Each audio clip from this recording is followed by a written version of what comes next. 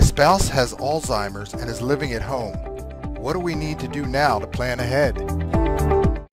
Well, what you really need to do right now to plan ahead is make sure that you have the proper documents in place so that you can sign things for your spouse and make decisions for your spouse when your spouse reaches that point that they can't make he or she can't make decisions for themselves. So a durable power of attorney and a healthcare proxy are the primary things that you need to take care of right away.